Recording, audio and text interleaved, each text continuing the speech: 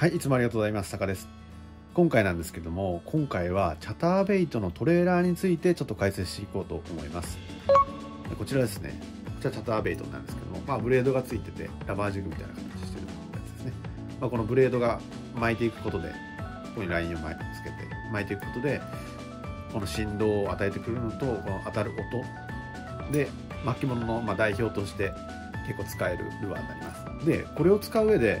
必須となるのはトレーラーワームですね。同じようにワイヤー系というか、スピナーベイトってあるんですけども、スピナーベイトにもトレーラーをつけてあげることがあります。ただ、スピナーベイトの場合は正直なくても全然そのスピナーベイトとして問題なく使えるんですけども、チャターに関しては、まあ、トレーラーほぼ必須だと思ってもらって間違いないかなと思います。で、トレーラーっていうのはまあ基本的にワームなんですけれども、ここにつけるワームで、その本来のチャターベイトの特性をまあ殺してしまったりとか、逆にその生かしたりとか、つけるものによってアクションが大きく変わってくるっていうのが、チャターベイトのトレーラーワームの特徴です。まあ、今回紹介しているこのテーブルの上ですね。まあ基本的に僕が持ってるものの中でトレーラーとして使うならまあこれかなっていうのをちょっと厳選して紹介していきます。で基本的にタイプとしては、まあスティック系、こっちかな。この右側。ここですね。ここがスティック系になります。であとシャッドテール系。ここはシャッドテール。でこちらがホッグ系。まあ、クローとかもそうですね。でこちらがブルーギル系。このまあ大体4パターンかな。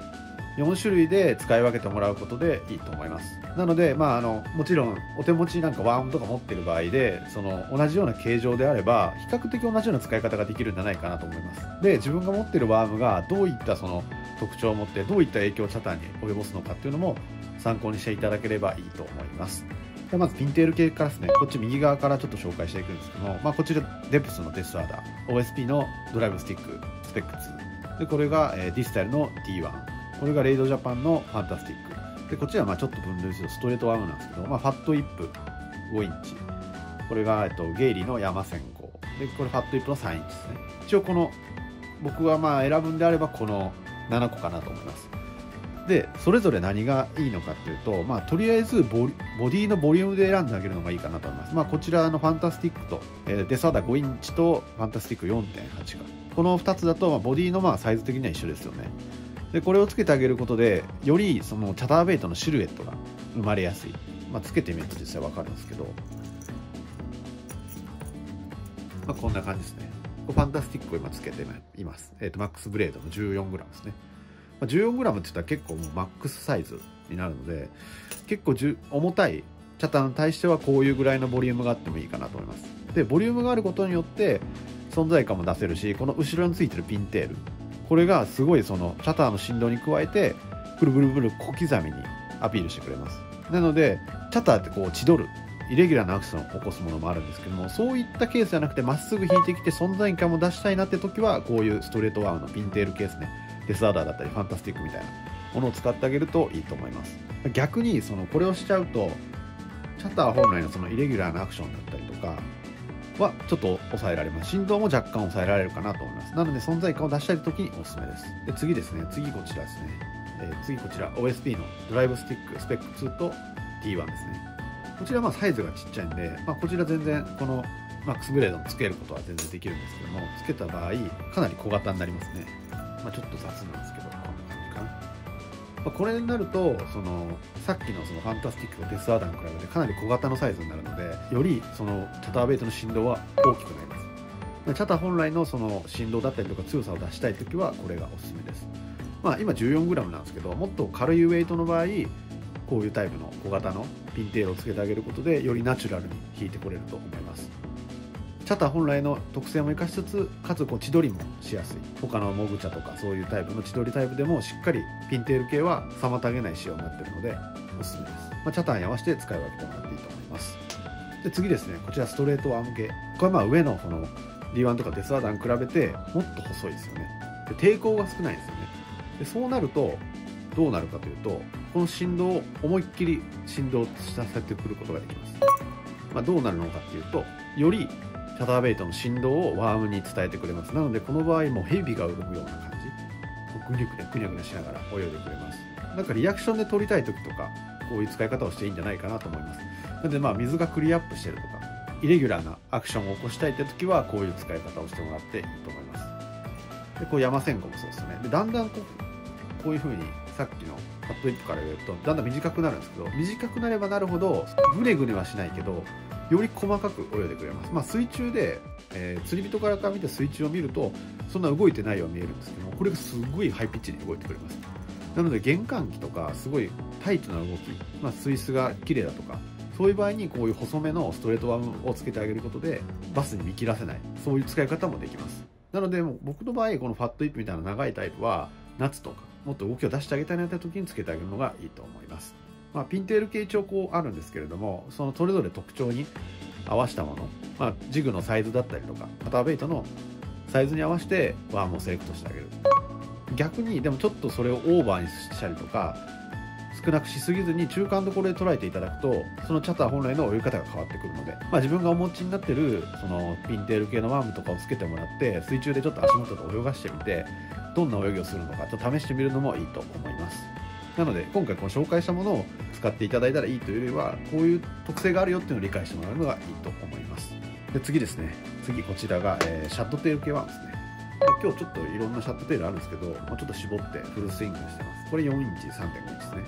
でこれの場合なんですけどシャッドテールっていうのは基本的にこのワーム本来が泳いでくれます。なのでチャターの振動っていうのは比較的かなり抑えられます。こんな感じですね。こうなるとチャター本来の振動は少なくなるけどそれを失う代わりにシャットテールのこう生めかしい泳ぎがプラスされるって感じですね。なのでもちろんよりシルエット感も出せるしよりアピールの質を変えることができます。なのでこうピンテールとかでちょっと反応悪いなって時にこういうのつけてあげるとかまあ、ちょっと水質が濁ってるなって時にこの塩を使ってあげるのが僕はおすすめですね。でまあこのフルスイングちょっと今刺してみたんですけどあの頭とかちょっと何節かカットしてあげた方がいいですね。あまり長すぎちゃうと結局こうバイトに持ち込めないというか。まあ、あのトレーラーフックつけてあげてもいいんですけどもトレーラーフックつけちゃうとせっかくブラシガードついてて耐性能があるのにそれを妨げてしまうので僕は個人的には、まあ、頭をしっかりカットしてあげて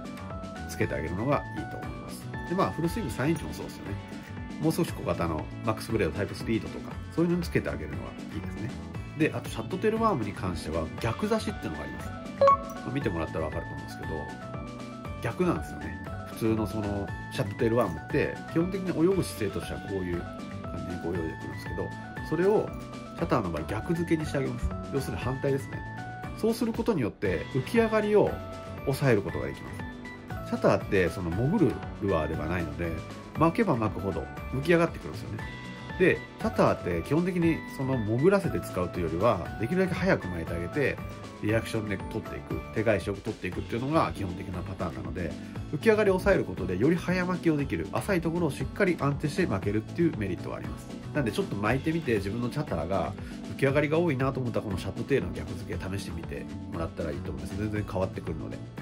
はい次ですね。こちらホッグ系。まあ、クロー系でもいいんですけどもこのタイプだとより水の抵抗を受けてくれます、まあ、ちょっとつけてみますね、まあ、クロー系だったりホッグ系要するに手足とかすごいついてるもの。こちらをトレーラーにしてあげることでより水の抵抗を受けます。このシルエットって何がいいってザリガニ系に見えるんですよね。投げてて泳いでると細かいこうバイブレーションしながらこのチャターが泳いでくる中でこれがすごいこのその加えてクロー系がブルブル震えながら泳いでくれますなのでチャッターみたいなこのイレギュラーな千鳥アクションは出せないけどよりザリガニのようなシェイプ。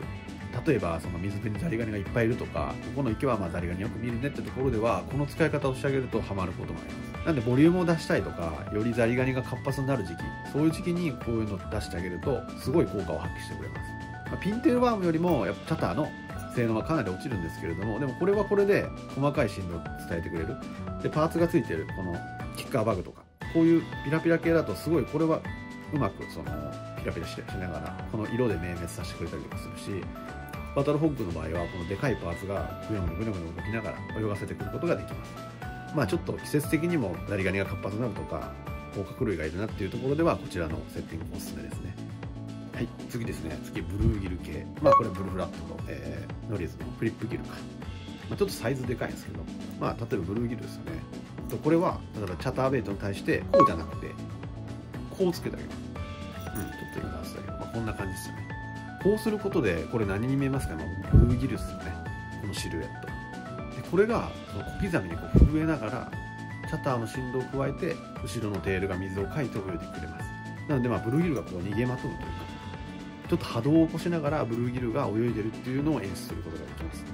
これもやっぱりすごい濁ってるとかどうしてもシルエットが分かりにくい急にすごい大雨降って濁りが入ったって時にこれを投げてあげるとパスからの視認性もあるしチャター本来のアピールに加えてシルエットでも見せることができる。そういう使い方ができます。なのでこの今回紹介した中では一番まあアピールが強いと考えてもらって間違いないかなと思います。なので、まあ、濁ったりとかまあまあ基本的にはそうですね濁った時かな。濁った時にこの使い方してあげるのがおすすめです、まあ、もちろんさっきのフリップギル。これだけ大きいものつけてもらっても実際結構良かったりするので、まあ、これだけ大きいのつけるとさっきのトレーラーフックみたいなのをつけていただけるのがいいかなと思います。そうなるとまあカバーはちょっと密接しては攻めれないですけどでもまあしっかりそのブレードとブラシガードも先についてるんでまあ普通の3つ針がてトレブルフックがついてるものよりは全然攻めていけると思うのでおすすめです。まあ、ここぞというポイント、まあ、結構限定される条件の時に出してあげるとおすすめのセッティングになります。はい。じゃあ今回こちら紹介してきました。まあ結構ピンテール系とか、まあ基本的にまあ今まだ何もつけたことないよっていう人は、ピンテール系をつけてもらうのがいいかなと思います。で、ちょっとなんか味欲しいなって時はこういうストレートワーム系を出してあげる。で、まあ水質とか、その季節感とかによって細かいピッチがいいのか、ぐねぐね動かしたらいいのか、まあそこのフィールドにいるバスによって癖も変わってくるので、グネグネがすごい効いたりとか逆にハイピッチが効いたりとかそういうパターンもあるので結構ローテーションしてあげるのがいいかもしれないですね。で浮き上がりを抑えたいって時は本当にこのシャドテール系の逆付け逆付けをしてあげることでよりハイピッチにとか早巻きで浮き上がり水面直下を引いてこれるっていうメリットがあります。でさらにそのホッグ系。これも水押しはやっぱ強いのであのギル系と一緒で濁った時とかまあそういうちょっとアピール出したいなザリガニがちょっと多いぞってところではもうこちらですね。でもう濁ってどうしようもない時にがっつりアピールさせたい時はこのブルーギル系こういうのを使ってあげるのがいいと思います。まあ、チャッターって結構やっぱトレーラーワームって本当肝になるのでぜひぜひあの皆さんお持ちのワームをちょっとセッティングしてみて、まあ、水中足元で泳がしてみたりとかワームの特性を生かしてボリュームだったりとかそのアクションだったりとか浮き上がりだったりとかあ、そう素材もそうですね、まあ、ソルト塩が入ってるとか入ってないとか、まあ、できれば入ってない方が針も錆びにくいしいいんですけれども、まあ、それはあまりこだわりすぎなくていいかなと思います、まあ、その分重量がかかってキャストも決まりやすいというのもあるので。まあ、いろいろ試してみるのが一番いいかなと思います。なので今回紹介した中でも、まあ、まだ使ったことがないよっていうのがあったら、ぜひあのちょっと使ってみて試してほしいなと思います。はい。では今回以上になります。ご視聴ありがとうございました。ぜひチャンネル登録、いいねボタンよろしくお願いします。バイバイ。